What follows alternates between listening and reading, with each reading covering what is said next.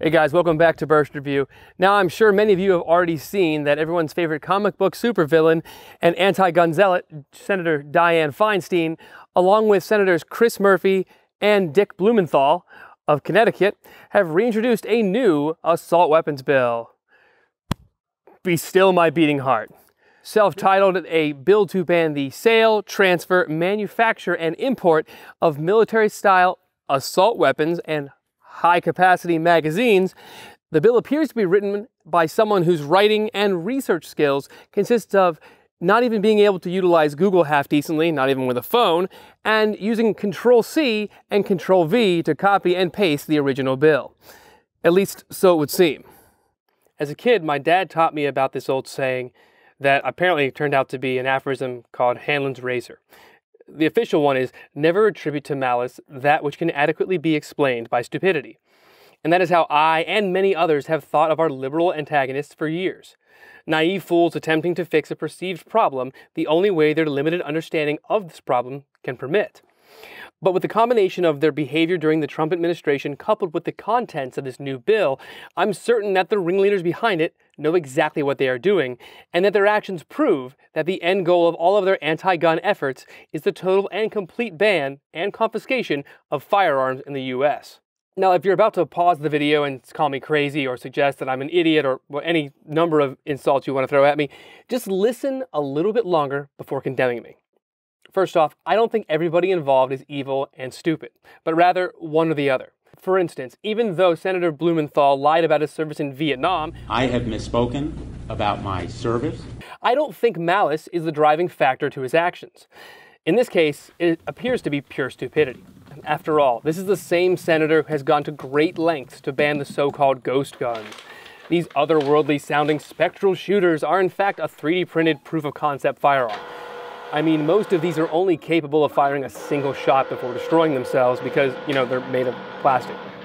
Despite this, Blumenthal warned of the threat these so-called ghost guns pose to civilians in the classiest way possible. That's right, trying to scare the hell out of Americans. Coming to a theater near you, coming to a school near you, coming to a sports stadium, to any public place. Stay classy, Connecticut. I mean, but surely, not every co-sponsor of the bill is such a valor-stealing, fear-mongering imbecile. What about Senator Chris Murphy? He always talks about common sense gun reform and about meeting with the NRA and, and meeting gun owners halfway.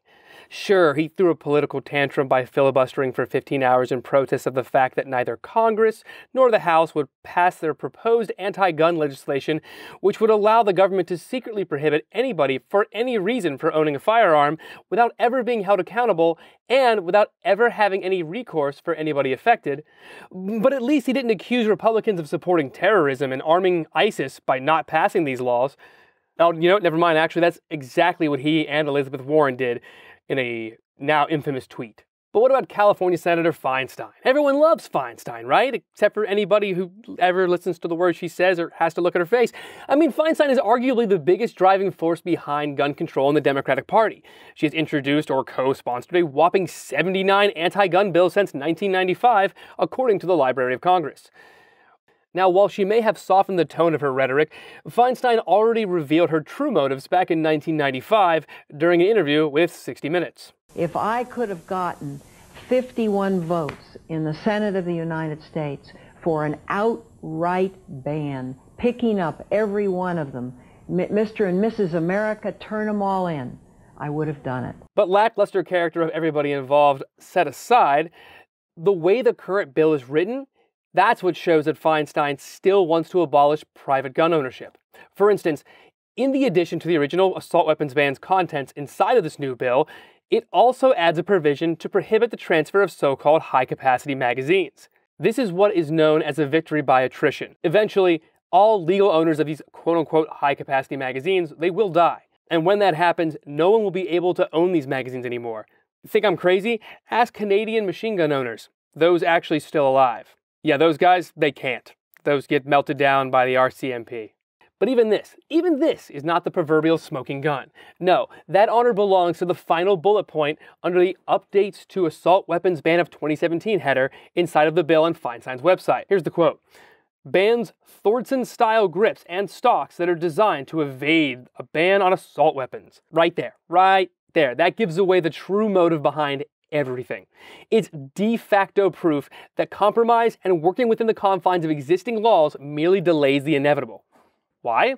Thordsen Customs is a small company in California that manufactures AR-15 and other firearm components. One of these products is the FRS-15. It's a quote-unquote featureless rifle stock, get it, FRS, for the AR-15.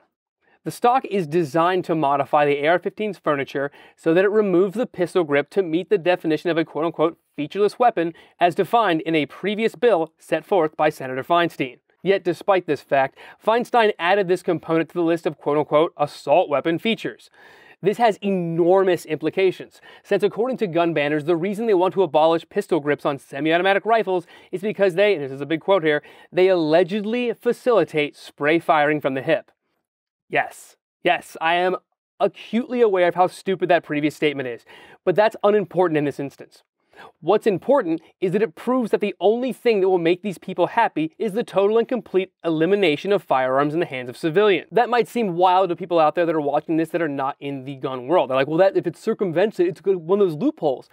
Anybody who ever uses the term loophole is full of shit. Here's the thing, if they truly wanted to fix the problem we have with mass shooters, A, less coverage, B, better mental health, and C, destigmatize getting mental health assistance right? How many people out there don't want to ever say, yeah, I saw a shrink or I saw a psychiatrist. They don't want to have that negative social stigma of being someone who's mentally quote unquote broken, which is not accurate. Everybody needs help in some way, shape, or form. If you were in a terrible car accident and you injured your leg really, really severely, you wouldn't say, screw it, I'm going to walk it off. No, you'd get physical therapy to get you back to where you were. That's just what humans are. We take time to heal. We are unfortunately not Wolverine. So what am I getting at overall? Here's the thing, right? It's just another freaking example of why gun owners never want to give an inch to anti-gunners. History has proven that gun grabbers never relent. They always want more concessions. And they never even give us anything.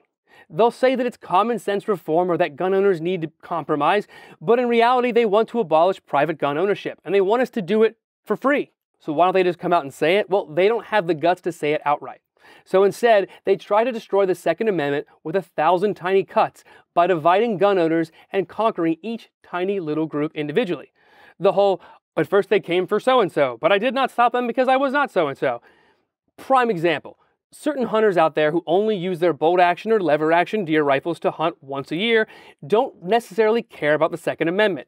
I'm not saying that no hunters care. I'm not saying that all hunters don't care. I'm saying that there is a subsection of hunters who just want their deer rifle and they don't care about anything else, right? For those guys, it's just a hobby. It's not that important to them. They will easily and readily surrender so-called high-capacity magazines and semi-automatic firearms because they don't see the need and they want to keep their guns. In a similar but also very different way, I don't care about ultra expensive over under shotguns. I don't use them, I don't care for them, but unlike the previous group, I wouldn't see them abolished just because I don't personally use or like them, and I wouldn't see them given up to save something else. And that is why we as gun owners need to resist every single piece of anti-gun legislation because we already know that both the NRA and Trump, our president, will sacrifice our God given Second Amendment rights as a bargaining chip to get other things done. So, what's the answer? Do we just bitch and complain on the internet? Well, that's part of it. The other part of it is we have to let the NRA know that we're not going to continue to support them if they don't accurately and fairly represent our interests as shooters who are more than just simple hunters. Thanks, guys. Don't forget to like, comment, and subscribe for more burst reviews.